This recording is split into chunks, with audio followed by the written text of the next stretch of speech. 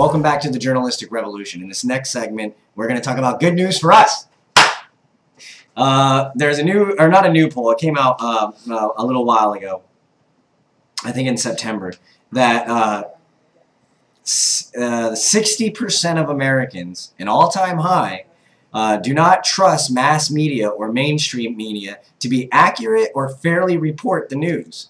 Now, this isn't this isn't uh, We're 60 but this, this isn't uh, 60% of um, uh, neocons or liberals. This is 60% of them across the board. They don't uh, trust. Now, this is extremely uh, high because uh, in a positive feedback, in, in, during the 1970s, uh, the people trusted the media when they were polled. It was 72% mm -hmm. of the country trusted the media to report the facts.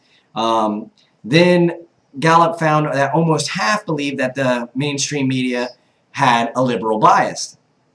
Uh, only 26% felt that they could trust the media to accurately report the news of Republicans uh, and that was in 2004.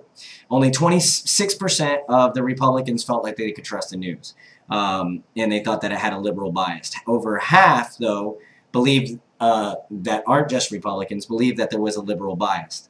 And then, um, now the guy who did Gallup, he he did a video. We're gonna link it, um, but I guess he thinks it's all liberal bias. Yeah, uh, and, and, he's a Fox News contributor. I've seen him on Fox News.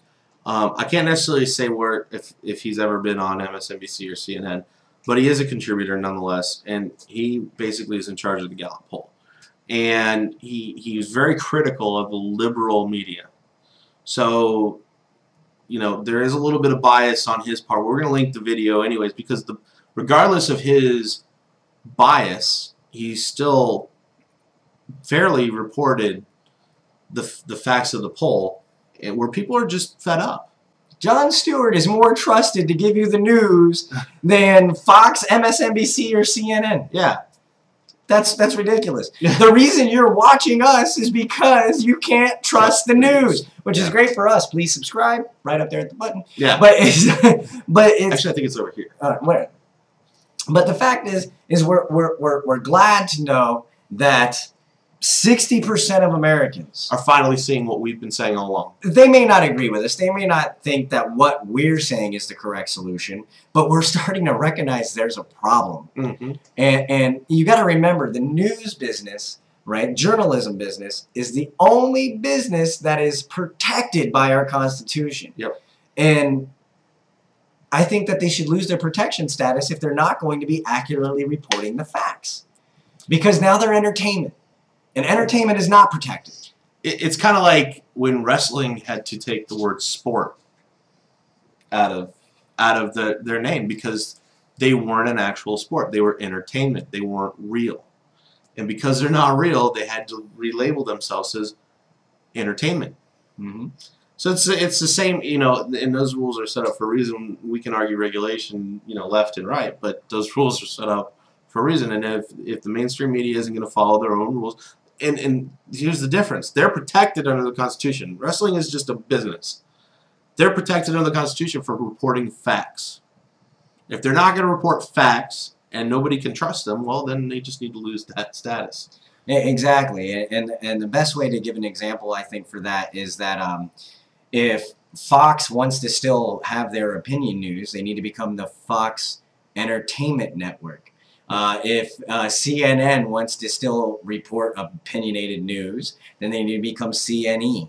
you know, and, and, and they need to stop false advertising themselves as an unbiased, factual news organization. Yeah, I mean, I once heard O'Reilly say that he's an opinion, you know, columnist kind of position. He's not there to report the news. And I've heard him say that there's a difference between your local news at 11 o'clock or 10 o'clock or 6 o'clock or whatever, or even uh, like here we have in Orlando, Florida, we have the Channel News 13. It is a 24 hours news network, but they don't get into opinions at all. When you start posturing opinion on a new on a 24 hour news network, at some point you have to be held accountable. It's sensationalizing. Yeah. They sensationalize the news. You know what made the news sensational back in the day? Sensational news. That's what made. Holy crap! Something blew up. Oh my God! This guy did something great. Oh my God! We're going to war. That's sensational.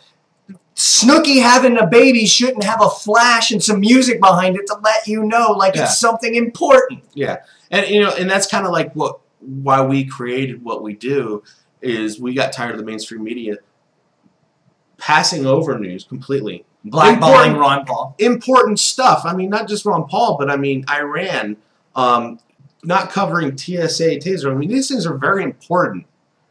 Um, those things should be sensationalized. Those things should be reported on, and there's plenty to cover that they could be reporting on. And if if you, the people, actually saw what we see on a daily basis while researching, even the stuff that we don't cover, if the news media would cover that stuff, you would be appalled at what you see. But what you don't see is they, they, they sensationalize unimportant things that mean nothing. and then give a five to thirty second uh, segment about something very very important. And, and, and, and, and then they propagandize a lot of it. I mean, the bottom line is, is they use their opinion to, to accentuate their, their bias and, and cause a, a, false story. I mean, for Christ's sakes, Fox is red, MSNBC is blue. I mean, how much more in your face bias do you have to get? I, I, I mean, everything like you watch MSNBC and it's blue background, blue signs, blue lettering, blue. You watch Fox, red, red, red, and then uh, in Fox is you know Republican agenda, Republican agenda, and MSNBC is Democratic agenda, Democratic agenda.